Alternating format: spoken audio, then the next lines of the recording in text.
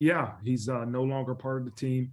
Um, he'll look to transfer um, probably at the end of the season after the semester's over. Uh, and that's about it. I think you'll see um, Chris Smith playing a little bit more, who who again, it's just a position that's extremely deep. And the deepest tackle position right now is is is one of the deepest positions we have on our team. And so Chris Smith will play a little bit more, um, but you'll see a guy like Gabe Rubio playing more. Um, you know, Jason Onye will now probably move from scout team. He's moved from scout team to, you know, getting reps with the, the defense. And so, um, again, Lacey was a, a, a, great player. You know, Lacey did a lot of great things for us, but it's a deep position. And, and um, he made a decision um, ultimately he felt was best for him. And, and we respect it. We love Jacob. And, you know, the best thing about it is he leaves here with a degree in his hand. And, and that's what I want for these young men is that if you decide to leave in, in, in hopes of going somewhere and playing more, don't